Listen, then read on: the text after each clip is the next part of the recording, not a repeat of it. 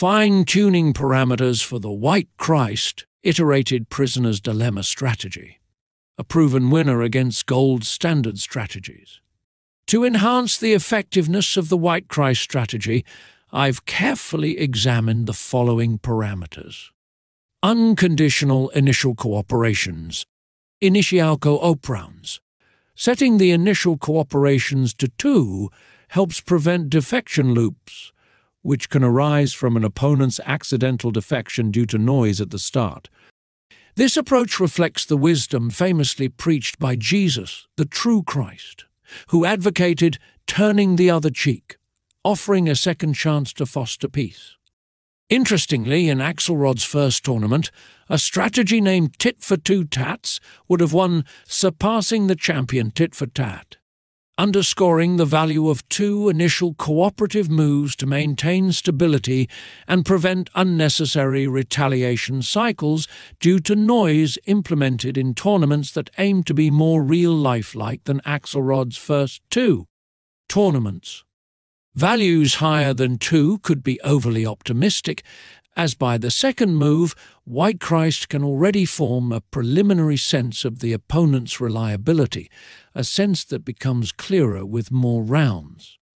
With two initial rounds of unconditional cooperation, White Christ achieves a balance, offering early trust without risking prolonged vulnerability. Trustworthiness threshold. Threshold a threshold of 0.4 means that if the opponent defected in less than 40% of previous moves, White Christ will continue to cooperate if faced with a defection. My initial tuning pointed to 0.4 as an effective level, aligning with champion strategy, which factored in whether the opponent's cooperation rate was at least 60%.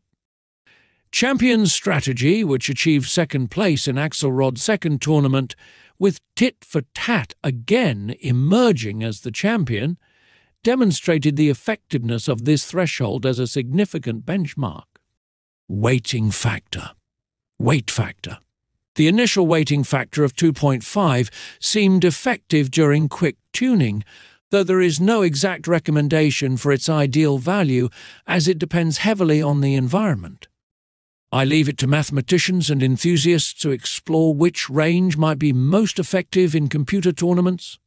Generally, by choosing the weighting factor, you could find a sweet spot between stronger focus on the opponent's recent actions and a more balanced focus across past interactions.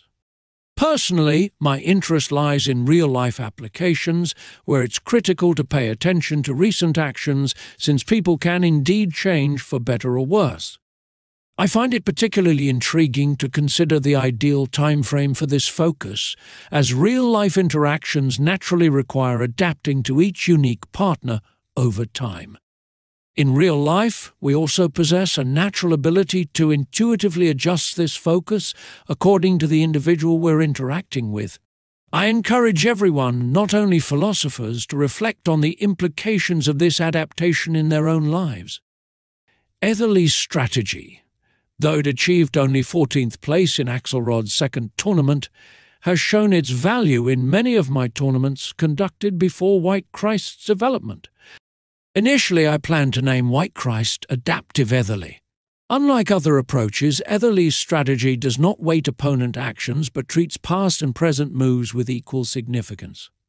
In private tournaments I conducted, Eatherley's strategy often emerged as the champion, perhaps due to its ultra-high eigenJesus rating. I once reviewed a morality metrics table where Eatherley's strategy ranked at the very top, directly below the overly naive always cooperate. This made Eatherley's strategy the most reasonable option with the highest eigenJesus rating in that context. The strategy submitted by the scientist White for Axelrod's second tournament, which has performed remarkably in my simulations, used a logarithmic approach to weighting opponent moves, giving recent actions greater influence. I incorporated this concept gratefully into White Christ. Oscar Wilde once referred to a wise thinker as the beautiful White Christ, recognizing the figure's ethical vision.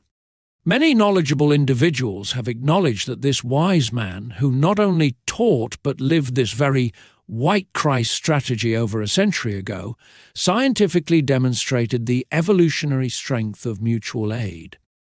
Unfortunately, his legacy and insights are largely ignored today, much as the success of the White Christ strategy, demonstrated so clearly in my research, remains unrecognized.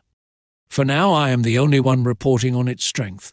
Let's revive the legacy of the beautiful White Christ and ensure well being for all, as he formulated as his aim, achievable through mutual aid. Well being for all, not just a few.